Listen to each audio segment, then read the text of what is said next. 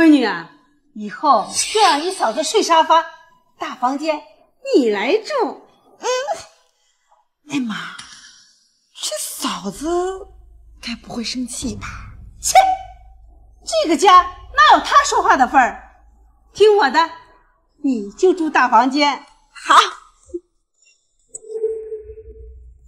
妈，你们这是干嘛呀？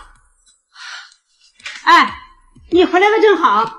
你小姑子要养胎，你的房间敞亮，以后啊，你就睡沙发。不是，凭什么呀？这是我家。妈，看来你说的话好像也不是很管用啊。这是我儿子买的房子，我是在通知你，我是在跟你商量。那行，那我也通知您。老孟，你你你，反了你了！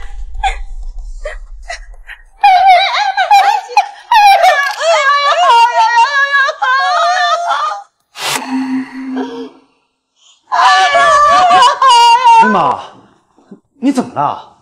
哎呀，儿子，你可算回来了！哥，妈好心让我在家安心养胎，这个女人她非要赶我走！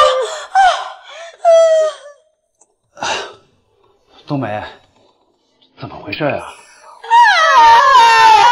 行了，别演了，妈。你要是再装下去，奥斯卡影后你都能拿了。还有小妹，你这两天不是在我家住的挺舒服的吗？怎么了？你住的不满意啊？那好，停。哎，儿子，你看看你媳妇儿，当着你的面，她都敢这么跟我说话。今天你要不给你妹妹做主，我就跟你没完。哎，好。冬梅，要不你还是给咱妈道个歉吧。我夹在中间，挺为难的。对不起。哎，对不起就算了，你的话可真金贵。那你还想让我怎么样啊？这第一呢，你小姑子要养胎，你那个大房间。必须腾出来给他住。这第二呢，他需要一个保姆，你必须辞掉工作，回家来照顾他。妈，您刚才真的是太过分了。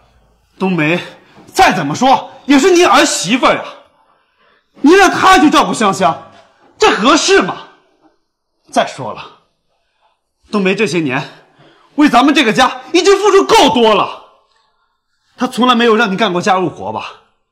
他白天还要辛苦上班，晚上回来还得给咱们做饭，您不心疼，我心疼。儿子，还得是你牛啊！你刚才说的话，妈差点就信了。哎呀，妈，我跟你说，这女人呐，她就爱听几句好话。不过啊，妈，你可千万别让他辞职啊！他那工资啊，可是两万呢。他要辞职了，咱们仨呀，都得喝西北风。哦，好啊，你们这么对我是吧？给我等着！